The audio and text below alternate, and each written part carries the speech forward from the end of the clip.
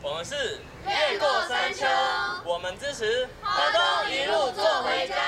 这群学生看到住在花莲与台东的同学，假日与廉价想回家过节时，却要饱受买不到车票的困扰，因此组成了越过山丘团队，想要借由他们的力量，让更多人注意到花东火车一票难求的问题。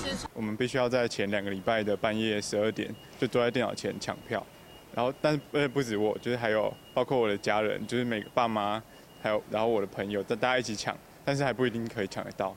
花东铁路就是每年逢年过节的时候。为什么有这么这么多的问题一直被爆出来？可是好像有个五到十年了，就是一直都出现这个问题。那为什么没有人愿意去解决这件事情？我们讲说想要透过我们的一些力量来试图改变，做一个突破的口，这样子。而他们也不仅仅只是呼个口号，他们将关心花东居民买不到火车票的心情付诸实际行动。除了设立脸书粉丝专业，连署多位艺人与名人的支持，更亲自拜访立委肖美琴，讨论购票实名制的问题。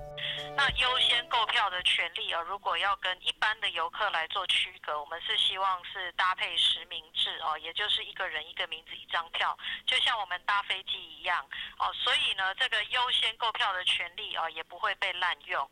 同时，也向台铁请益有关实名制的问题。不过，台铁运务处营业科表示，实名制的实施必须要有相关的法院依据。他们已针对此项问题，请相关学者研究。一个法律上没有赋予我们这种权限，那这个行我们又是不是基于安全的理由，而是只是为了照顾某些特别地区的一个旅客的乘车优先权，而来实施实名制。